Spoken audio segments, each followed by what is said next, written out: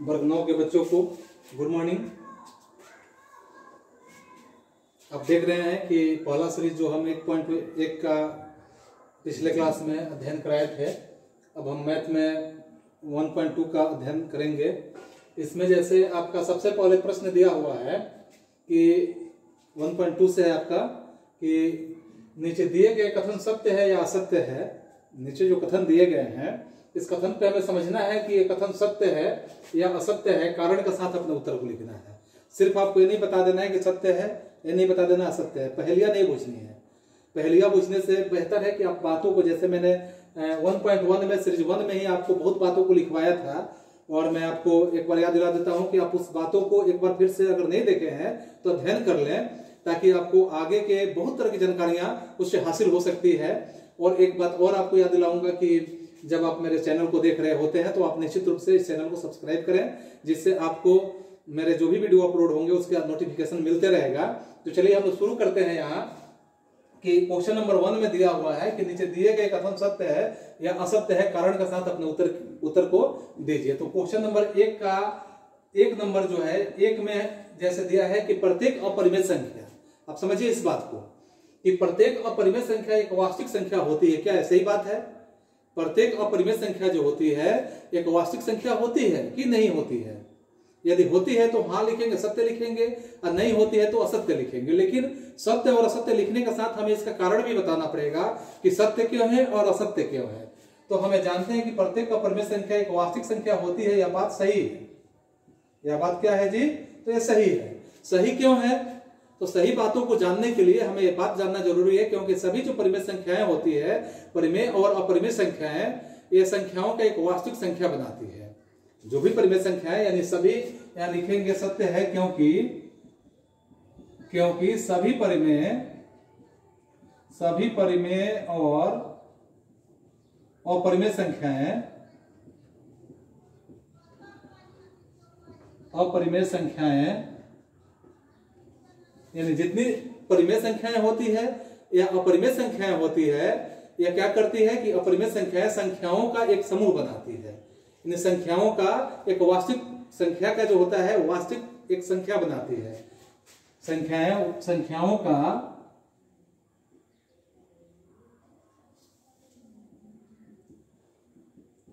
वास्तविक संख्या बनाती है। वास्तविक संख्या बनाती है। इसलिए क्या है कि सही है। ये जितने परिमेय संख्या होता है या अपरिमेय संख्या तो यहाँ दिया है ना कि प्रत्येक अपरिमेय संख्या एक वास्तविक संख्या होती है। तो हाँ सही बात है, क्योंकि परिमेय संख्या भी वास्तविक संख्या होती है और परिमेय संख्या भी वास्तविक संख्या होती है, क्योंकि जितनी परिमेय होती है या अपरिमेय संख्याएँ होती है या संख्याओं का एक वास्तविक संख्या बनाती है, इसलिए बात सही है। अब फिर हम दूसरे बात को देखते हैं। दूसरे खंड में दिया है आपका, दूसरे प्रश्न में दिया है कि संख्या रेखा का प्रत्येक बिंदु रूट एम के रूप में होता है। यानी संख्या रेखा का जो भी बिंदु होता है, रूट एम के प्रकार का होता है, क्या यह सही बात है? संख्या रेखा का जितना बिंदु होता है, क्या रूट एम के रूप में ही होता है? तो नहीं, ऐसा बात नहीं है। यानी कि यह बात क्या है? असत्य है। तो असत्य क्यों है? असत्य क्यों है? जैसे मैंने बताया कि इसका कारण आपको बताना है कि असत्य क्यों है। तो असत्य इसलिए है क्योंकि दूसरे प्रकार की जो संख्या होती है, किसी भी प्रकार की दूसरे प्रकार की जो संख्या होती है, या संख्या रेखा पर होती है, यानी दूसरे प्रकार की संख्या होती है वो किस पर होती है? संख्या रेखा पर भी होती है। दूसरे प्रकार की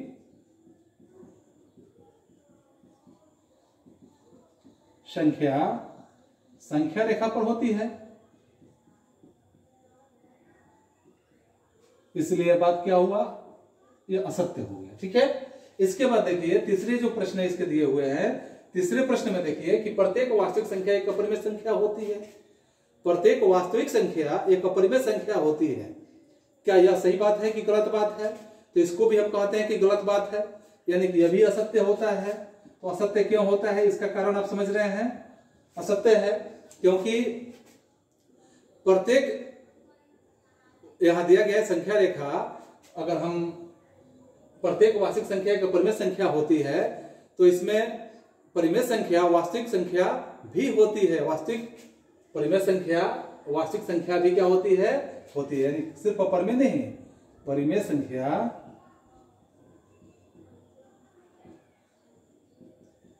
वास्तविक संख्या भी होती है, वास्तविक संख्या भी होती है। इसलिए यह बात क्या हुआ? यह आपका प्रत्येक वास्तविक संख्या एक परिमेय संख्या होती है यह बात गलत है, क्योंकि परिमेय संख्या वास्तविक संख्या भी होती है। यहाँ सिर्फ़ अपरिमेय की हम बात नहीं करेंगे, परिमेय की भी बात करेंगे कि परिमेय भी वास्तविक होती है अपरिमेय भी वास्तविक होती है।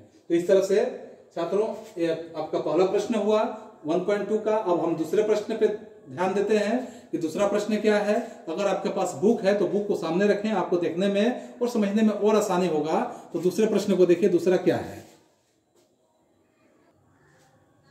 देखिए, आपके दूसरे प्रश्न में क्या दिए हुए हैं कि क्या सभी घनात्मक पूर्णांकों के वर्गमूल, क्या सभी घनात्मक पूर्णांकों के वर्गमूल अपरिमेय होते हैं? क्या सभी घनात्मक पूर्णांकों के वर्गमूल अपरिमेय होते हैं? यदि नहीं तो एक ऐसी संख्या के वर्गमूल का उदाहरण दीजिए। यानी कि यह प्रश्न से यह स्पष्ट हो रहा है कि शायद नहीं होते हैं। सभी घनात्मक पूर्णांकों के वर्गमूल अपरिमेय नहीं होते हैं। यह प्रश्न ही स्पष्ट कर रहा है कुछ।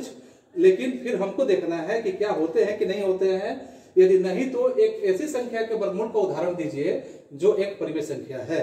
अगर ऐसा नहीं है तो एक ऐसा संख्या का, के वर्गमूल का हमें उदाहरण देना है कि जो क्या होता है कि परिमेय संख्या होता है। तो हम आंसर में इसका लिखेंगे, हल में लिखेंगे कि नहीं। क्या सभी घनात्मक पूर्णांकों के वर्गमूल अपरिमेय होते हैं? तो नहीं। सभी घनात्मक पूर्णांकों के वर्गमूल अपरिमेय नहीं होते हैं। अपरिमेय नहीं होते हैं। परिमेय भी होते हैं। समझ रहे हैं? यानी सभी घनात्मक पूर्णांकों के वर्गमूल अपरिमेय नहीं होते हैं, कुछ परिमेय भी होते हैं। तो वही चीज़ पूछ रहा है कि नहीं होते हैं तो यदि नहीं तो एक ऐसी संख्या के वर्गमूल को उदाहरण दीजिए।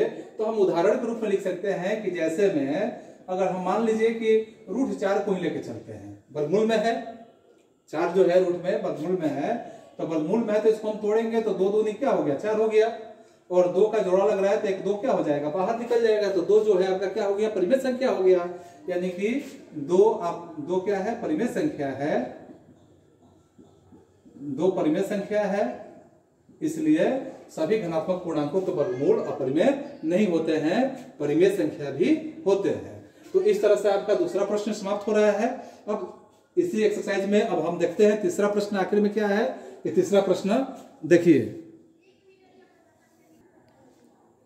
देखिए, आपके तीसरे प्रश्न में क्या दिए गए हैं? कि तीसरे प्रश्न में है कि दिखाइए कि संख्या रेखा पर रूट पाँच को किस प्रकार निरूपित किया जा सकता है। संख्या रेखा पर रूट पाँच को कैसे निरूपित किया जा सकता है? तो इसके हल में हम क्या करेंगे कि रूट पाँच को संख्या रेखा पर निरूपित करने हैं तो हम कैसे इसको निरूपित कर सकते हैं? तो सबसे पहले आप इसमें लिखिए हल में, आप कॉपी और कलम साथ में रखे रहे। हैं मैथ अगर पढ़ रहे हैं तो काफ़ी बेहतर रहेगा आपको समझने में भी कि रूट पाँच को संख्या रेखा पर निरूपित करने के लिए, यानी कि हम यहाँ कुछ भाषाएँ बनाते हैं कि रूट पाँच को संख्या रेखा पर निरूपित करने के लिए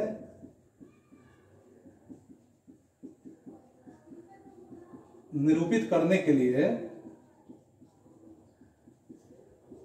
हम सबसे पहले क्या करते हैं? निरूपित करने के लिए पहले हम एक रेखा खींचते हैं और उसका कुछ नाम दे देते हैं। करने के लिए एक रेखा, मान लीजिए कि एल ही खींचते हैं। एक रेखा क्या करते हैं? एल खींचते हैं। और एल रेखा को जैसे मान लीजिए कि यहाँ पे हम एक एल रेखा खींचते हैं। ठीक है? और इसका नाम हम एल दे दिए। और यहाँ से इसका हम वैल्यू देते हैं ज़ीरो यहाँ देते हैं एक, यहाँ देते हैं दो, ऐसे हम बढ़ते हुए आगे जा रहे हैं। ठीक है? तो यहाँ पे अगर हम एल खींचते हैं, उस रेखा पर एक समकोण त्रिभुज हम बनाते हैं। उस रेखा पर क्या करते हैं कि एक समकोण त्रिभुज बनाते हैं कि समकोण त्रिभुज आपका क्या होता है? कि उस रेखा पर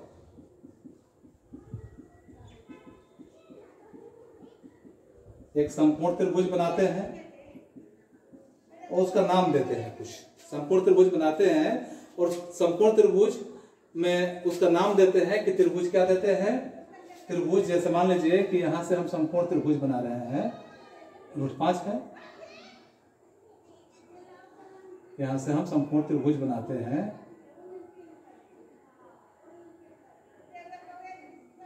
ठीक है? इसका नाम हम कुछ देते हैं। नाम में क्या देते हैं? तो इसका हम ए नाम दे देते हैं, इसका बी नाम दे देते हैं और इसका ओ नाम दे देते हैं। जो ज़ीरो है, ओ नाम दे देते हैं। ठीक है? यहाँ ओ नाम दे देते हैं। इसके बाद यहाँ एक नाम और दे देते हैं, सी दे देते हैं। ठीक है? तो त्रिभुज क्या हो गया? आपका ओ, ए बी हो गया। त्रिभुज ओ ए बी। संपूर्ण त्रिभुज आपका हुआ ओ ए बी। अब यहाँ पे आपको करना है कि ओ ए बी की हम रचना कर लिए। ओ ए बी की रचना हुई। ठीक है? आगे जो है इसमें आप क्या करते हैं कि जो बिंदु ए पर इस प्रकार संपूर्ण बनाती है यहाँ देख रहे हैं ना कि बिंदु ए पर इस तरह से संपूर्ण बनाती है कि ये संपूर्ण जो है इसका हम कुछ नाम कुछ वैल्यू दे देते हैं। यहाँ कि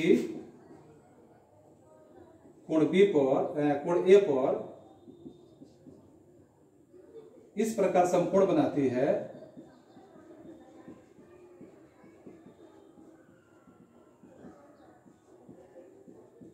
इस प्रकार संपूर्ण बनाती है कि हम क्या करते हैं? कि ओ ए का वैल्यू हम दे देते हैं ओ ए का वैल्यू दो दे देते हैं, दो इकाई। ओ और ए के बीच में इसका वैल्यू कितना देते हैं? दो इकाई दे देते हैं। ओ ए बराबर दो। और फिर यहाँ एक और वैल्यू दे देते हैं, इकाई तथा ए बी का वैल्यू दे देते हैं एक। ए और बी का वैल्यू कितना दे देते हैं? एक दे देते हैं। ए बी इक्वल टू एक दे देते हैं। ठीक है? तो अब देख रहे हैं कि संपूर्ण त्रिभुज में पैथागोरस प्रमेय से क्या होता है? पैथागोरस प्रमेय से ये आपका कर्ण का मान नहीं मालूम है। आधार का मालूम है और लंब का मालूम है तो कर्ण का मान यानी कि O B equal to what O B equal to what इसलिए पैथागोरस प्रमेय से अगर हम चलते हैं तो पैथागोरस प्रमेय से ओ बी इक्वल टू क्या होगा? यानी कर्ण का कर्ण इक्वल टू रूट अंडर लंब का स्क्वायर है जोड़ आधार का स्क्वायर यानी कि ए बी का स्क्वायर आ जोड़ ओ ए का स्क्वायर ओ ए का स्क्वायर यानी ए बी का स्क्वायर आपका एक का स्क्वायर और ओ का स्क्वायर यानी कि दो का स्क्वायर यानी एक का स्क्वायर एक का प्लस दो का स्क्वायर चार चार और एक कितना हो गया? पाँच। रूट में पाँच आपका आ गया। यहाँ तक अब क्लियर है। तो रूट पाँच यहाँ पे अब संख्या रेखा और ओ सी बराबर यानी ओ और सी को हम बराबर करते हैं किसके? ओ बी के। ओ और बी के बराबर करते हैं। ओ सी जो है, यहाँ ओ और सी जो है, आपका ओ बी के बराबर करते हैं। ओ से लेकर सी तक आपका बराबर होता है ओ बी के। इसलिए संख्या रेखा पर ओसी इक्वल टू लिखते हैं ओबी और ओसी का वैल्यू कितना आया? रूट पाँच आया। और ओबी का वैल्यू कितना हो जाएगा? तो इसका भी वैल्यू हो जाएगा रूट पाँच। यानी दोनों का वैल्यू हो गया आपका रूट पाँच। हम इस तरह से काटते हैं। जैसे यहाँ पे हमने दिखाया था, इस तरह काटते हैं। काटते हैं, तब बिंदु सी अपरिमेय संख्या, इस तरह से बिंदु जो सी हो रहा है इस तरह बिंदु सी अपरिमेय संख्या बिंदु सी क्या है? अपरिमेय संख्या रूट पाँच को क्या कर रहा है यहाँ? रूट पाँच को निरूपित करता है।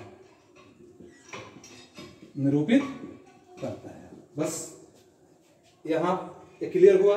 इसके बाद अगर आपको किसी भी प्रकार से इसमें या किसी भी सवाल में परेशानी होता हो, समझने में दिक्कत होता हो तो आप निश्चित रूप से मेरे कमेंट बॉक्स में कमेंट ज़रूर करें, ताकि मैं समझ सकूँ कि मेरे समझाने में और आपके समझने में कुछ अंतर हो रहे हैं और उस अंतर को हम दूर करने का और हम प्रयास करेंगे। अब हम चलते हैं नेक्स्ट क्वेश्चन पे। नेक्स्ट क्वेश्चन में क्या दिया हुआ है? जैसे आप देखिए, इसमें अगले क्वेश्चन क्या है? देखिए, चौथे प्रश्न में आपका क्या दिया हुआ है? चौथे प्रश्न में है कि कक्षा के लिए एक क्रियाकलाप आपको करना है, यानी कि वर्ग में आपको एक एक्टिविटीज़ करने हैं, वो एक्टिविटी आपका इस प्रकार से है कि कागज़ का एक बड़ा सीट ले लीजिए।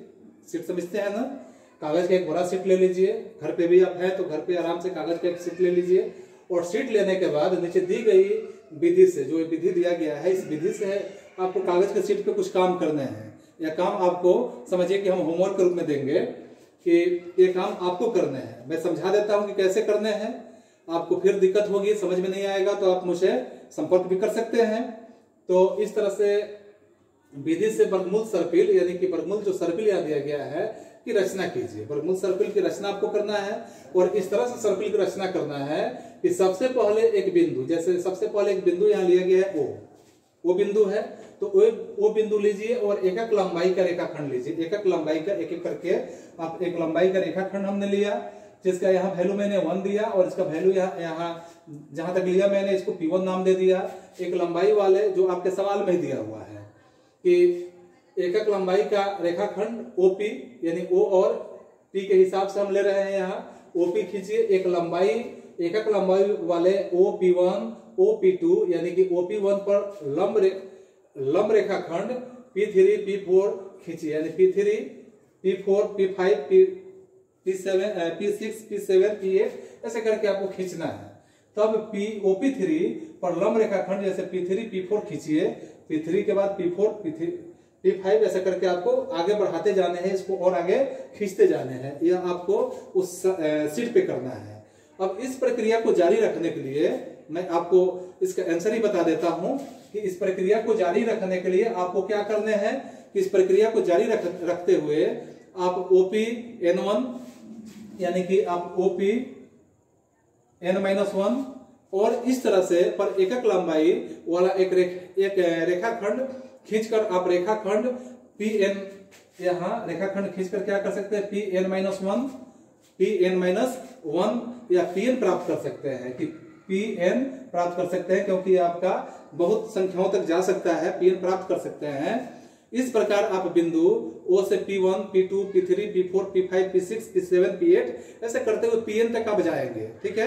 प्राप्त कर लेंगे और उन्हें मिलाकर आप जैसे यहाँ पे दिया है कि वन हुआ रूट टू हुआ रूट थ्री हुआ तो रूट फोर होगा रूट फाइव होगा रूट सिक्स ऐसे करते हुए आपको आगे बढ़ते जाना है ठीक है? तो दर्शाने वाला एक सुंदर सर्किल प्राप्त कर लेंगे, जो आप अपने घर पे सीट पे करेंगे निश्चित रूप से। और आज के लिए हम इतना ही इतना ही पे समाप्त करेंगे। नेक्स्ट क्लास के लिए हम फिर अगले समय मिलेंगे। तब तक के लिए गुड बाय